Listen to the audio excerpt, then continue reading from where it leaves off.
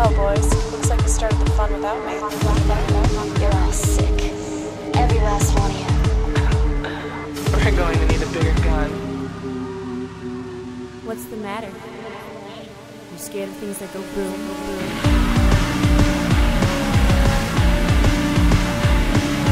Give me one goddamn reason why I shouldn't blow your goddamn brains all over that goddamn wall. It almost feels weird even coming in off that music. You know what I mean? Yeah, it does. Like It's- like we should wait for it to wind down Uh-huh. or something. I don't.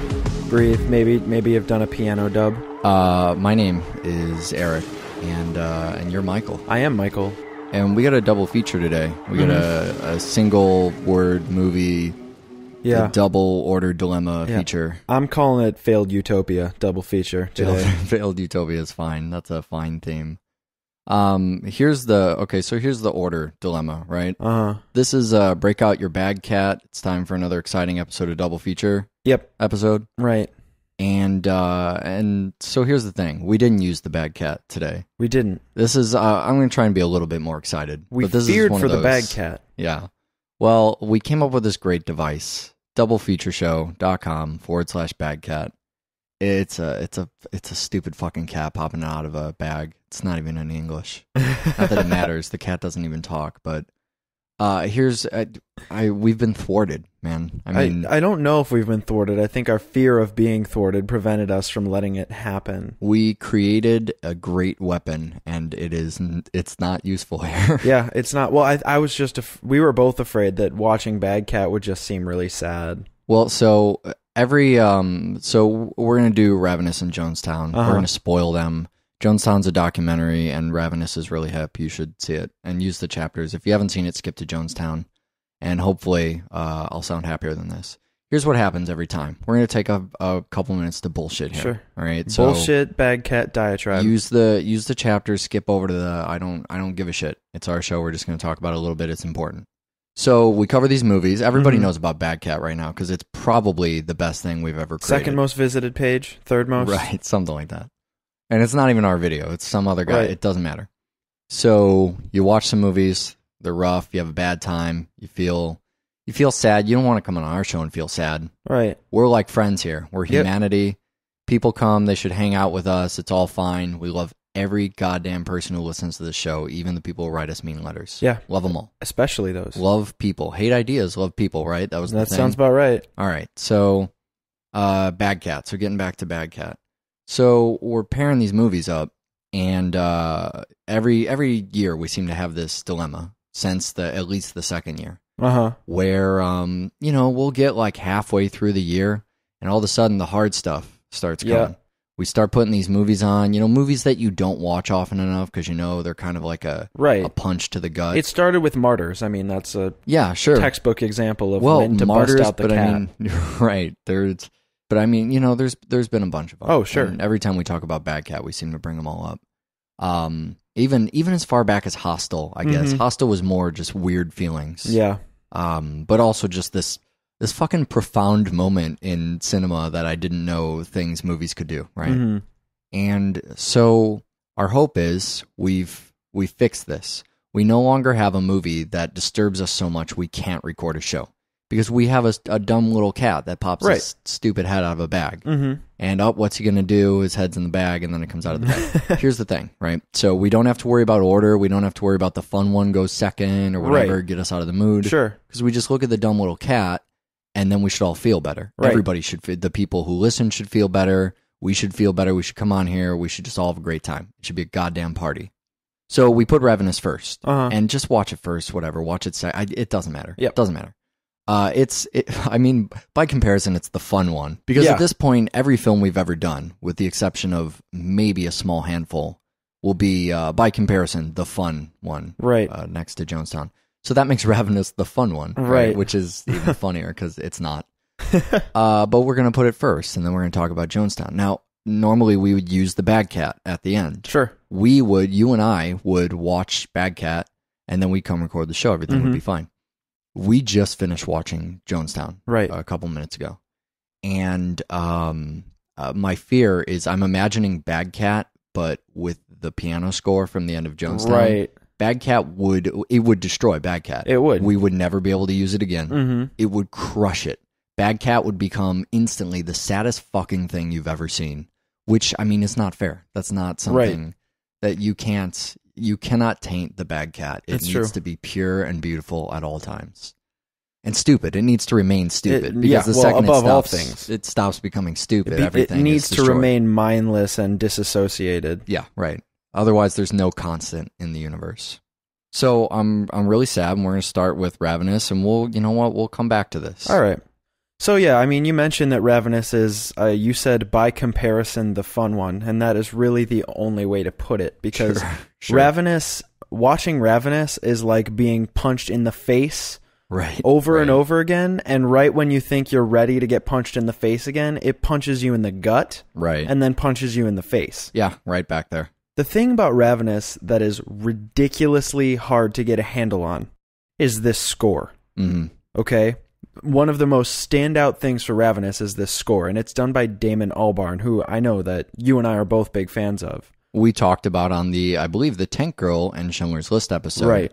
Because along with the artist from the uh, Tank Girl comic, Mm-hmm. uh, Damon Albarn is uh, part of Gorillaz, Sure. And um, the He good, was from and Blur in the Queen, and- 90s. Yeah, lots of lots of bands. Yeah. Um, he did this great Gary Numan cover. I'm sure I mentioned. Uh, Uh-huh. We have a technical, just uh, all around great guy. Yeah.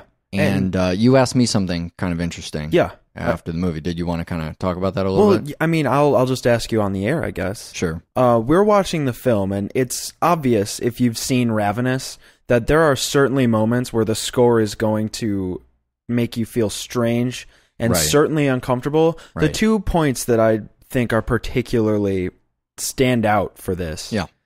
is the chicken run hmm when Ives is still Calhoun Right. and he tells uh, the one character to run and then Sure. immediately Banjo Sure. chasing the chicken score.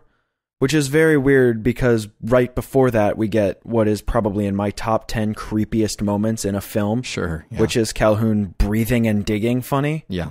And yeah, you the- have no idea what's going to happen. Right. Can we study that moment for just a second? Here? Sure. Yeah. Um, I, what the hell? I Yeah. mean, It is one of the strangest and the thing is is it it's one of the weirdest turns in the film. right. But the film is packed with stuff like that. It really is. It really is. Uh, I mean, you know, they're in a cave and Yeah. he's outside and he starts digging. yeah. It almost seems like there's some camera thing Right. going on. and but he's breathing just- rhythmically and pointing his fingers like he's almost Yeah. dancing. You don't know what he's pointing at. Right. They give you kind of the illusion that he's standing right against one of the characters. like He's right in the guy's face.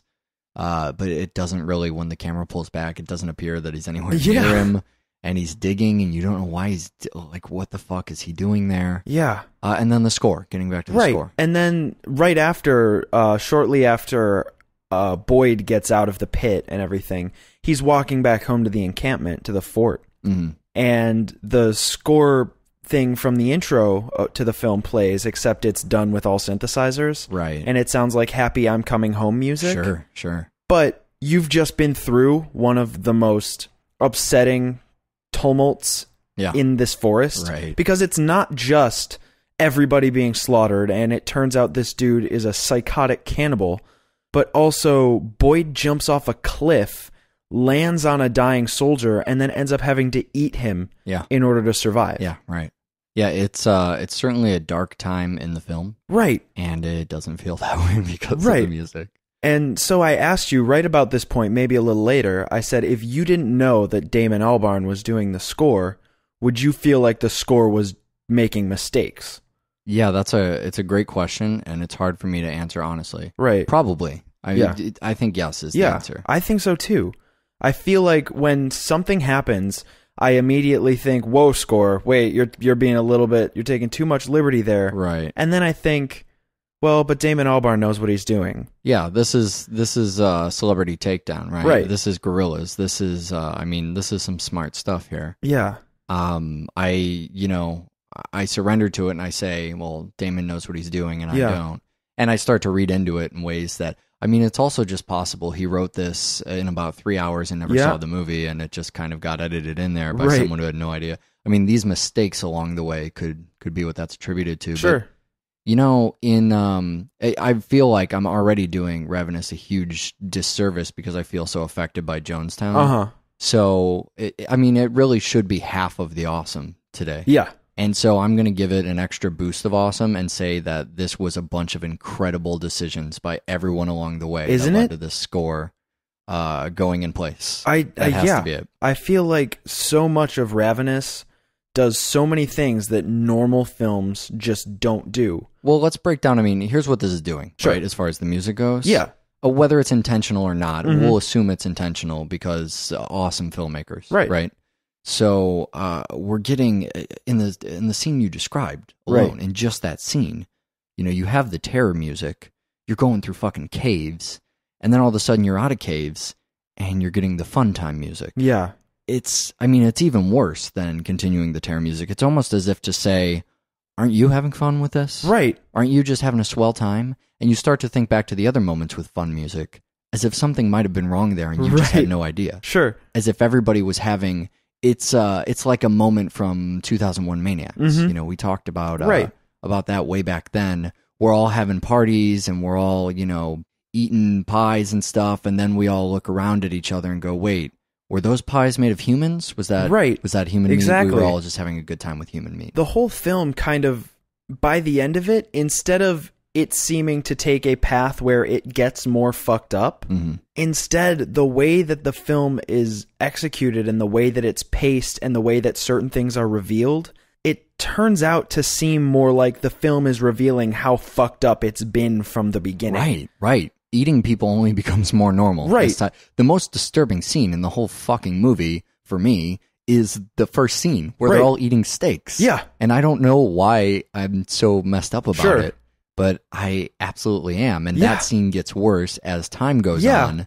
Uh, but the whole I'm going to eat people, by Mhm. the end, I'm just like, save yourself, eat that dude. Yeah. No problem here. I don't even mind. and it just keeps twisting itself when Ives comes back to the Uh-huh. camp after you know when he comes back and he's the new head officer Right. because Hart has supposedly been killed.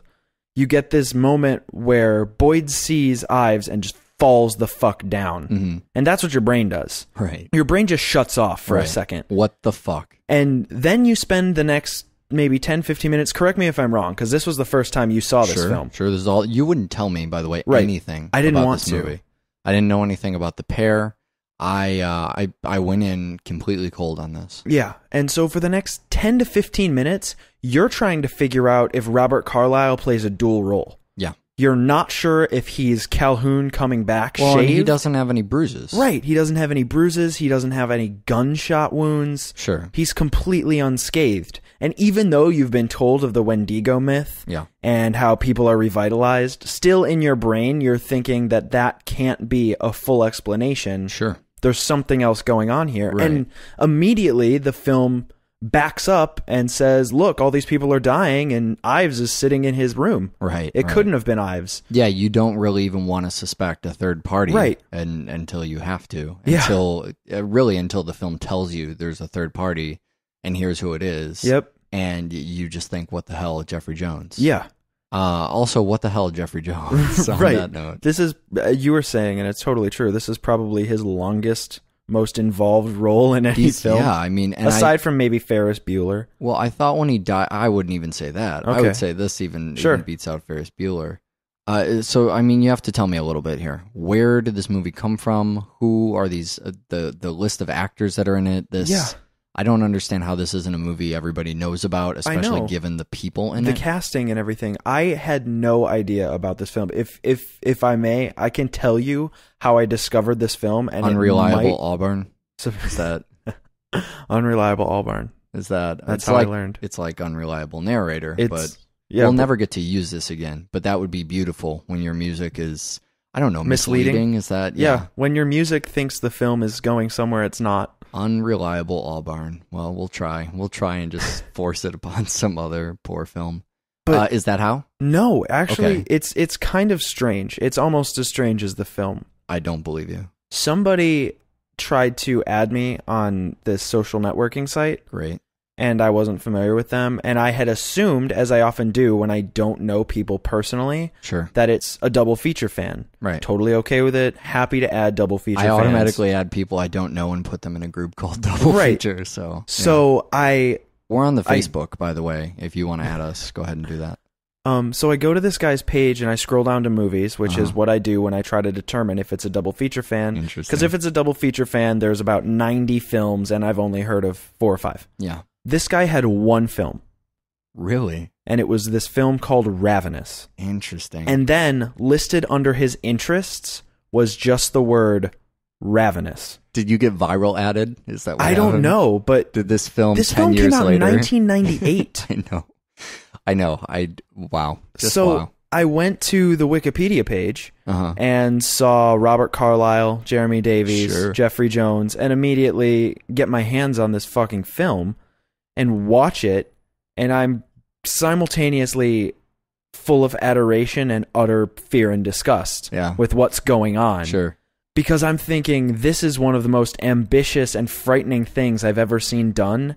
And it's more frightening that I've never heard about it. It makes Sure. me feel like this is being done to just me. Yeah, It feels right. like a big, scary secret, Yeah. And these guys are actually doing these horrible things. Yeah, I almost feel like this was uh, assembled via YouTube Right. from clips of other movies I've Yeah. never seen. Or, you know what I mean? Yeah. You have these huge names, but then you have, and I mean, excuse me here a little bit, Ravenous. I know you were from the late '90s. You have these shit titles. Yeah. You have these terrible Yeah. fucking titles, mm-hmm. and uh, some of the camera work is a little cheap looking. I mean, I want to give them artistic credit Yeah. because maybe they didn't have budgetary credit. Sure. But a, a scene, especially like the one where you know where he's forced to jump off the cliff, right. the cinematography, the uh, the composition of those shots, what is shot and where, and the editing between it Uh huh. is all spectacular. It is all really fantastic. You feel every tiny bump of that fucking hill. It's, I mean, it's gorgeous. Yeah. it's it's great. And uh, and at the same time, I'm watching it, and there's this strange music. And Right. so you're always on this level of genius or insanity Yep. with how this film is being Right. thrown together. And uh, combined with the fact that no one seems to know what it is, you're right. It feels like a secret joke, but this is something out of the game. You Yeah, know, this is exactly. Uh, uh, you're almost afraid to watch it. Right. At the end, you find out that you are ravenous. You Yep. know what I mean? It's, Yeah. It's uh, it's terrifying. Yeah. And so you know you have this cast too, and then the cast just fucking dies in the Yeah. middle of the film. They all die all at once. or kind of in the beginning of the film, Right. into the first act. You Uh-huh. just kill the entire cast. of well, all it these different seems like people. the end of the film. It does because yeah. you don't know you can't imagine where the film will go after it kills all the Sure. characters off. Wow, thanks, Michael. What an interesting independent short you've brought today on Double Feature, and then it. Right. goes on for another hour. Well, it turns into this weird story where this lead cannibal is trying to form a cannibalistic society and feed on gold rushers. sure. And it's all really kind of fucked up because what you start realizing about Ives and a little bit about Hart, but mostly Ives, hmm is that he really likes eating people. Yeah. He likes Big fan. everything about it. Sure. He thinks it's funny. He Yeah. thinks it's silly that other people get eaten. He likes to make puns about how he's going to eat people. Oh, especially on his own deathbed. I mean, Right. you can't even believe it. He just loves everything about it. He is living the cannibal dream. Really good example when the uh, team is coming back Mhm. uh, from that expedition. Not the first time, but the second time when uh, the woman goes out to fetch the general. Right. and he looks out with his telescope and says breakfast lunch reinforcements Right. and you just get this it's almost like the score is his brain Yeah. and he's just kind of having a jolly time oh i'm a cannibal nobody can stop me this is fun Right. and then you get this horrific moment at the end with the bear trap also just going to point this out kind of obviously symbolic right bear trap Sure. eating the two cannibals Sure. um, looks like it, I mean, it looks like fake chattering teeth from Pee Wee's Playhouse. Not sure where they got a bear trap that big. Right. Not sure why it's armed sitting in there.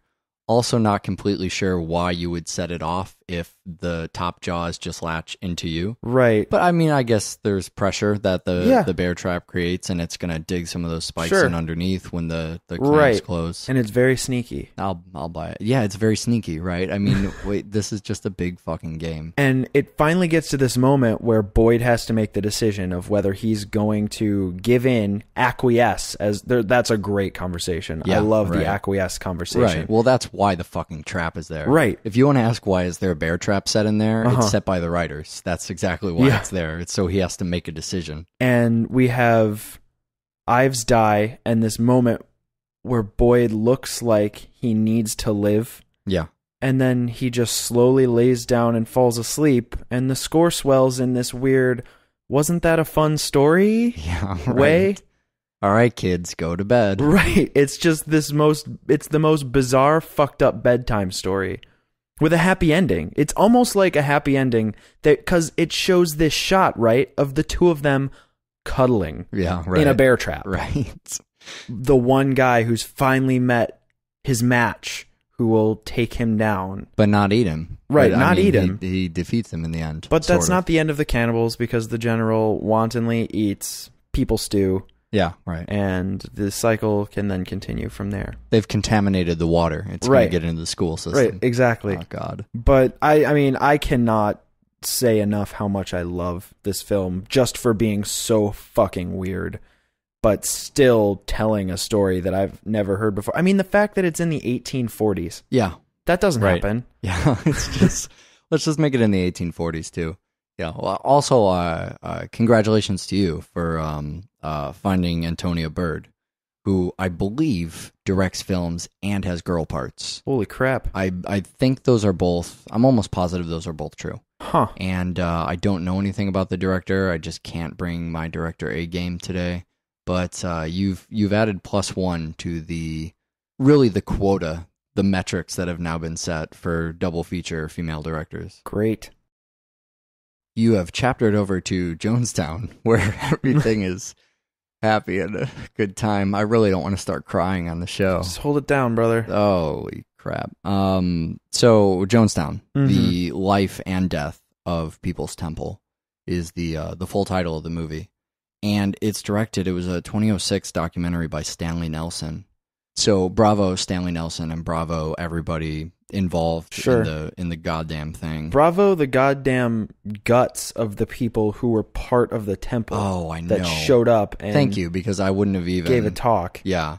Uh, the the ability of those people, even you know, even uh, all the way forward in time Sure. here, to still talk about those events and to be able to keep themselves collected. Right. I mean, I, I to amazing. give some sort of insight outside of screaming this was horrible why would you ever want to talk about right. this It reminds me of people coming back from the war that don't want to talk about the war. yeah You know, that's the that really that's the right thing. That's the justified thing as far as what we should expect of Yeah. those people. We should expect them to say nothing because they have been through some of the most traumatic experiences a human being can endure. well and i think that's only juxtaposed against how much joy they probably felt at times too Yeah, I know. that makes it so much worse Oh, it really does. I mean, I, I guess we should talk about that uh that side yeah i think that's probably uh, everybody knows the sad stuff Absolutely, they do. Um, you know, we talked about this. I can't even remember the episode of the show, but we said, "Hey, Jonestown, that's a thing we should probably discuss. We should find a documentary." And Jesus fuck, did we find a documentary? I just looked up the first Jonestown documentary. I got it off Netflix. I watched it, and this this fucking happened. yeah Uh, and then I thought, hey, I should make Michael watch Thanks for this as well. you got me back for Um, martyrs i'll give you that Thank you, thank you. Uh, so we start with another black screen with white text. We're Mhm. learning about some people. We're learning about the uh, the time, the events that were Mhm. taking place. And I mean, this is even trauma aside, an incredible story. yeah Made more so incredible by how it ends. sure but an incredible story. We have Jim Jones, uh-huh who is the fucking Elvis of this story, right? yeah the Jesus of yeah. this story. everything is at his command and it's just i mean the arc of jim jones Right. from the beginning to the end of this is mind-boggling you know, sometimes people say crazy things. Uh, you know, something has to be real because you couldn't make you shit couldn't like make this something up. like this up. and rarely do I believe that as Right. a fan of narrative fiction. sure. But then I see something like Jim Jones, Right. and you almost wouldn't even believe this story. It's uh you know, the thing that makes it unbelievable is not if I just told you a story, all right, this guy is not evil. Uh-huh. He's um uh he does some evil fucking things, but he's a human character. He starts out doing great stuff Sure. and by the end he's fucking slaughtering people. That's not that unbelievable a Right. story. But when you see the enthusiasm, even kind of speaking about him today, Right. these people seem full of I, I mean, It's a really respect love for at guy. least a part of Jim Jones. yeah, absolutely. They never lose the fact that when he got started and when the People's Temple was in its roots before it moved to South America, Right. there was a really wonderful, fantastic thing Yeah. that was going on there. They never lose sight of that, despite what could only be described as the worst possible outcome Yeah. for the People's It, Temple. it really is. Yeah. I mean, short of world destruction, Mhm. this is about the worst fucking thing that could have happened. I guess the uh, you know, the what ninety people or whatever that weren't there that day Right. could have been there. Sure. That's really the only way it could have been any worse. yeah. And uh, in some ways, not to shortchange, you know, human life, but the fact that people made it out, it makes it more tragic for the rest of us knowing that story. Sure.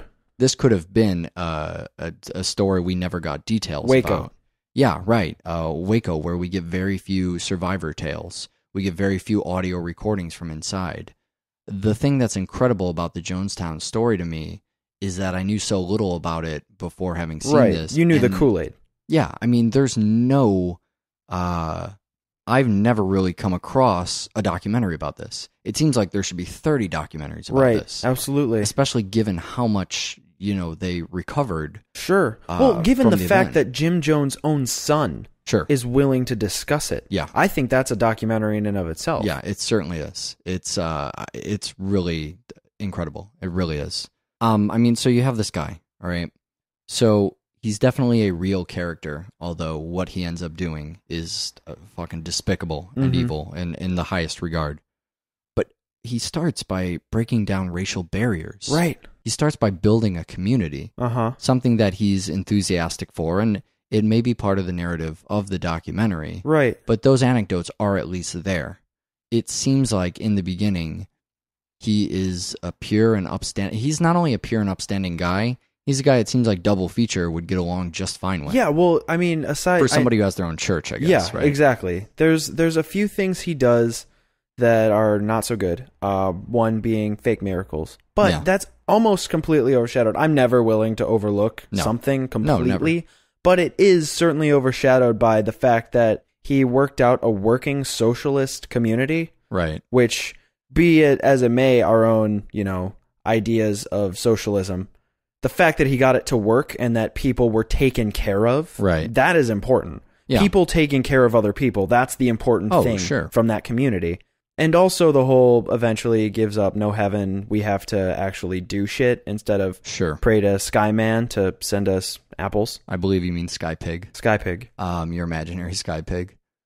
Yeah, you know, in a lot of ways, I feel like uh, obviously there's nothing libertarian about socialism, right but there is something kind of libertarian about a small section of people within, sure uh, let's say, a free United States who decide they want to embark on a socialist right experiment. they want to operate on a socialistic level That's purely within their rights. Right. It's something myself as a libertarian I would not join into. right but nobody's asking you to Exactly. No one by force is taking your money and making you do this. Although I guess there's some coercion really Sure. in, in the manipulation right there. there's fear and sleepiness both of which i know are very good tactics at getting people to do something especially the latter yeah, that's definitely true. And when we start to look at how this happened, I think that's one of our, our keystones in that. But uh, all right, so breaking down racial barriers, that's a big thing. I mean, uh, it, it's surprising, really, even hearing that how how human this guy is. That integration and the the bus tour that he's talking about, mm-hmm uh, this thing where they're carting these buses around, and then the senior homes. The guy's building Right. fucking senior homes. Now, granted, in doing it, he's also taking all of the the proceeds uh, from seniors selling their actual homes. Right. You know, but he's using that money to create senior communities. Sure, and to take care of them if they need to go to the hospital or if they need a dentist appointment. It's a full ride. It's almost like an end of your life scholarship. Yeah, that's how it seemed to me too. These people are nearing the end of their lives. Jim Jones is befriending a bunch of old ladies, so when they die, he will get all their money. Right. And that starts to make him an asshole, right? Mm-hmm. Uh, I I don't think it's really until he's dressing up his secretary as a poor, crippled old woman Mm-hmm. that I'm really feeling all right, scumbag. You Yeah. know what I mean? That's Yeah. some Peter Popoff shit. That's Yeah, some uh, exactly. James Randi kicks Peter Popoff's ass uh, kind of stuff. And uh, you know we've talked that to death, but look it up if you don't know what I'm talking about. This is where we enter into that uh, that great thing you know I hate. You want to just give me the phrase? I know you know what's going on in my my brain right now. Uh, I believe uh, the phrase is the end justifies the means. Yeah, absolutely. We have an end outcome here. Doesn't matter how many people we're lying to or deceiving. Sure. In the meantime, the point is they will find Jim Jones or Christ or my charity or whatever stupid thing people are trying to trying to do. It's never okay to lie to people. I take No, a really hard stance on that. Uh, you can get into minutia with little white lies and what if it blah blah. Don't care. Mm-hmm. When It's- in question, don't fucking lie. yeah, right. That's that's exactly where I come down. You know, but then he's fucking launching the Bible across the church, Which is kinda This, awesome. Uh, this black book has oppressed black people. There is no heaven. Let's make heaven here. I mean, eh, you know, I'm I'm already starting to forget about lying to fucking everyone. Right. lying to everyone. Well, and there's also the other thing that I personally thought was really cool where the People's Temple was just willing to show up and fight for your cause. Right. You would call them, they would show up in droves sure. with picket signs and support you. Yeah. I mean, that was the fucking 70s, right? Yeah, That's the 60s, incredible. the 70s. That was the movement. People could change the world. People could at least change the nation. but they stopped sleeping and they stopped thinking for themselves. Sure, and Jim Jones ended up with some more political power, as Sure. if he weren't already monopolizing. yeah, taking advantage of these people Sure. here, taking over their lives and really using them as his his workers, Yeah. his uh his minions almost. Right. So the movie shows his Kool-Aid fake out Mm-hmm. uh where he tells everybody they just drank poison. And Right. kind of get a reaction out of that. And that's the first time uh the film invokes that and you it, it's right about the right time because you're thinking Jim Jones what a great guy. mm-hmm. And then you're thinking, man, if he poisoned everybody, that would be kind of shitty, wouldn't it? Yeah. And then he starts taking advantage of people sexually Mm-hmm. and nobody is on his side at that point. Well, he gets into the that weird everybody's homosexual except me, but he's right clearly right. repressing something. well, that's when you start feeling the Waco vibes, Right, Right. I'm exempt from all the rules. Everyone is my sexual servant. mm-hmm. And seeing, you know, seeing one of the victims talk about how you know everybody was all the men were saying, "Oh yeah, I'll sleep with Jim Jones," or "I slept with Jim Jones," and he's just thinking, "Man, I love my wife." Right. I, you know, that guy is just uh, great. I mean, everybody's great in this, Yeah. but I never forget that uh, that little section of the interview because he has so much. I mean, it's so absurd to him; it's laughable Right. until it becomes blisteringly tragic later on. Right. And then there's the woman who wrote the book as well, talking um, talking about you know being invited back, or I guess told to go to Sure. the back of his bus or whatever. It's, it's. I mean, if ever there were, if ever there were a time to use the oxymoron consensual rape, yeah, sure. it's. I mean, it's there. It's Yeah. when power is exercised and you don't feel comfortable saying no. Well, yeah, I mean, she, uh, you know, she's under complete control. Uh, This is the man who effectively runs Her their, world. Uh, yeah, right. So where it really gets dangerous, if it isn't dangerous by this point, is where they have this separation uh, from Jonestown and the rest of the U- Right. United States. sure. And they start talking about when people eventually come to Jonestown, they're being reunited with their families hmm you know so they have this uh this separation and you know it's an exclusive society no one can leave people start turning each other in it reminds me of Right. scientology Yeah. You know well, we- it's it's a combination of Scientology, 1984, and Equilibrium.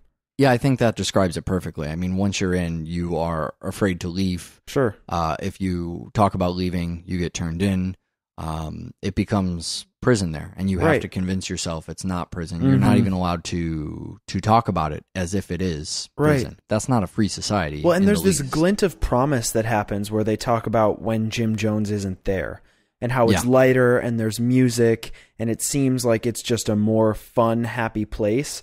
And it makes me, I don't know if it makes you or anybody else, but me, it made me think would this have worked if at this moment Jim Jones were assassinated, if he gave up, if he Sure. left, if he Sure. vanished? Would Jonestown have progressed into an actual flourishing utopian society? That's a pretty amazing question, isn't it? I mean, Yeah. that's the the sort of thing you could spend a lot of time talking about Right. and speculating on. It's shocking that one man has the control to turn a Sure. potentially perfect society into 1,000 corpses. we don't really have a good point of comparison for No. that. Uh, we have It's all a speculation. we have a couple. y- There's things like, uh, are you aware of the Free State Project? You ever heard of that? Um, So it's all these people who move to. I want to say it's Vermont or something. Uh-huh. I don't. I don't know enough about it. But uh, it's a bunch of uh, fucking crazy freedom fighter, you know, and and like more power to them. Sure. I don't mean to to knock that stuff. But they decided, all right, we are into extreme freedoms on all fronts. We should all just move somewhere so we have more power. We can exercise that a little bit more. So they just picked a state. I don't know if it was already the the fucking freest state or whatever they Mhm. decided to live in, but they do these kind of uh, you know civil disobedience and these uh, these political things. It's a it's almost a complete place of activism, cool. and they can exercise these you know crazy experiments hmm as far as well, what if we used fucking Liberty dollars, right? Or Right. I don't know. They've kind of created their own society under the larger United States Cool. society, and so we have little uh, kind of projects like Right. that that spring up here and there. But as far, I mean, I, I'm amazed these guys were able to build their own city Sure. in a place where there was not a city before Build they and came. support. Yeah. I mean, they had food for the entire populace. and you know, the period when he's gone, eventually that ends. Right. I mean, uh, once the the fucking crazy spills out, you have these Andrew Ryan style messages Right. playing over the overhead. Right. Andrew Ryan, not Senator Ryan, who's in Right. the movie. Two different. Um, but just twenty four seven propaganda. Uh, just a constant stream of, uh, honestly, a constant stream of lies. Sure. It's not even just. It's insulation. yeah, it's a way to to remain in control, even when even when you yourself have to sleep. Right. So you start to get this maddening voice that's just talking to you at, at all times.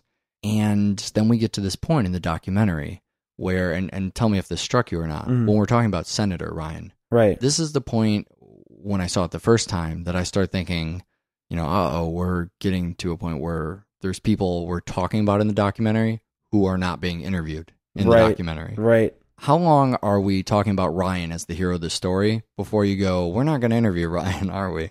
I actually never I never considered that Oh, because really? I assumed he was, you know, he looked a little bit older in the video Okay, footage. sure. That Maybe could be it. Yeah, definitely. didn't live, maybe he had a heart attack. Maybe he also just didn't want to participate. Sure. That's I mean, there's totally all kinds too. of uh, with politics and and especially something as delicate as Jonestown. Sure. I was trying really hard not to speculate as to why this person wasn't being right. interviewed. Oh yeah, absolutely.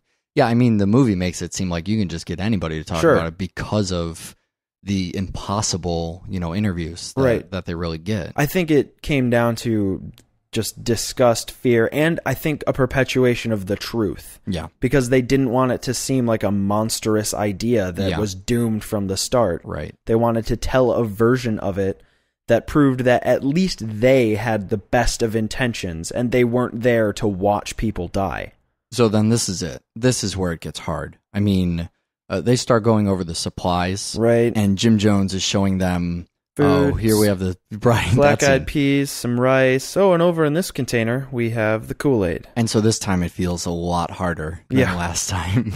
last time it was just uh, a powdered beverage. Mm-hmm. This time it is a fucking poison. Even Right. though it's not a poison yet, Right. you know this is the same Kool-Aid that will be going in these people's mouths. This will be ending their life. The the supplies he's casually, you know, going over here. Sure. And then it gets even fucking worse. You know, you're seeing the party. They're throwing this great party and you're seeing all these people I mean, uh, alive, but fucking alive. You right. know what I mean? They're dancing, happy, singing. they are having the time of their life. Things could not be going better as far as the show that they're putting on. right. This seems like uh, out of the happiest 70s movie we have ever seen. Everybody's having a blast. And to know that 24 hours later, hmm they will all be dead. All of them. And you're just looking at these people. You're seeing them celebrate. You're seeing There's them the, smile. the woman singing Right. and dancing. She's going to be dead. They're all going to be slaughtered. These are the real people. You're looking at Right. footage of people who will all be dead. That's fucking hard. Yeah. That's I mean, that's the first moment where it really like it really hits me. And then there's the day that things fell apart. You know, they're talking about uh, the cameraman getting shot. That's another Right. incredibly hard moment. You know, they show the video signal going out, whether Mhm. that's actually his camera or not. Sure. And the total totally fucked up moment where the uh the sound operator just he has a little toy plane and a little toy truck and Right. he just kind of Oh, drives it around and it's toys and if it were any other, you know, goddamn show bullshit did it a lot. The TV Yeah. show where Sure. they would have people make diagrams and it looked dumb as shit. yeah, right. I hate that little truck. Yeah, I hate it so much. I know, man. Oh God, it's uh, it's show me on the doll where they touched you, right? Yeah, yes. But I mean, that's even become a joke because of Right. how I, you know, this. Oh God, it's tragic.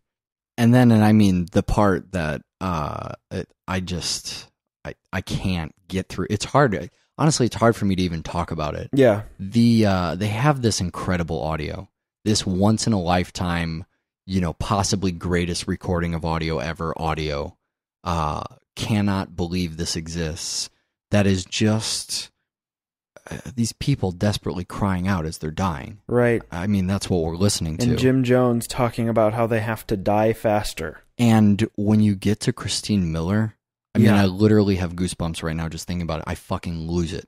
I cannot deal with it.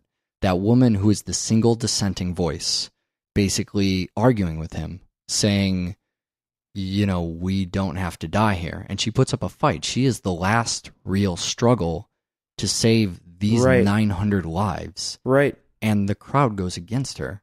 You know, there's a, a some random man who basically says Jim Jones has given you uh, this life. He's given you, you know, your life up to this point, Uh huh. and that's the last you you hear of her. And the entire time they're going over these. Uh, uh, they're going one by one through the people who are interviewed, talking about the final days, Right. talking about their relatives who are there, and there is this constant audio under everyone's story of just people crying out as they're dying Yeah. for minutes, for what seems like days. Yeah. it's uh, it's just the sounds of people dying against these stories, against uh, a man losing his wife and child, talking uh, very frankly about his baby foaming from the mouth Right. you know, talking about their loved ones, and then you just see the bodies. You just see all of these people face down, lying there dead, and uh, a letter from an anonymous woman, you know, of the the probably the final collective thoughts there. Sure. Thoughts better than I would ever be able to Right. organize. If I'm at Jonestown, I'm Mhm. just I'm losing it, right? Yeah. I'm just a fucking baby. I'm useless. I am fearing for the end of my life Mm-hmm. and someone sits down and collects their thoughts and writes about this experiment and basically says you need to tell the world and in any other documentary this comes up and i think fuck you documentary Right. i see what you're doing here you're doing that thing we made fun of on schindler's list yeah. where at the end they go hey schindler's list really glad somebody made this movie oh Yeah. turns out i made it and so the documentary is basically showing this letter that says someone needs to tell this story but it is so good that it gets to do that It's horrible and remarkable uh, simultaneously, and that's what makes it so bad. and good. We have uh websites. Uh, fuck it. I don't care. What are we doing next time? Uh, next time we're going to we're going to try to lighten the mood a little bit with a little one-handed score by a man named John Carpenter. Okay. Uh, we're gonna do Assault on Precinct 13, uh, adding another uh, check to our immense John Carpenter library. That's We're seriously with every feature. with every one we knock down, there's two more we discover Right. as if they're coming out of a vault somewhere. And um, and then we're gonna we're gonna hit another uh, double feature on the right side of the website favorite. Uh, that'd be Alfred Hitchcock with The Wrong Man. all right. So here's the deal, and uh, we'll talk about this this time. And next time you hear from us, it's going to sound like there there was a great plan here. Uh huh. I'll take the blame for this, even though technically we should probably blame the producer, right? Okay. But I'm feeling very human today. I'm All just right, going to completely take the blame. We're phoning it in. Yeah. Now we're not going to phone it in on the episode. no, we're not gonna phone in the show. We're the phoning episode in will the be selection. great, right? Yep. But uh, all the double features have been making too much sense, Mm-hmm. and we tried to just knock things off of the routine this week. Yep. And I uh, wanted to do John Carpenter. You wanted to do Alfred Hitchcock. They just need. It's been about six months, and we've only done one Hitchcock, which I Yep. said, you know, this year we're going to start nailing more Hitchcock stuff. We haven't done any John Carpenter in I don't know. I love John. Carpenter too much to let that happen. I know. So these are directors we need to talk about more of their movies and and honestly, I just don't give enough of a good goddamn about uh pairing things up with woo wacky theme. Great great job with the uh, the two movies are linked by some arbitrary show. We're just going to talk about two good movies. I Yep. hope they're good. They'll be Uh. They'll be great. what are the movies? We're gonna do Assault on Precinct 13 and The Wrong Man. You were going to forget the fucking movies. I already said it. you? Did you? Yeah. I, I all right. It's um Watch more fucking film. yeah, bye.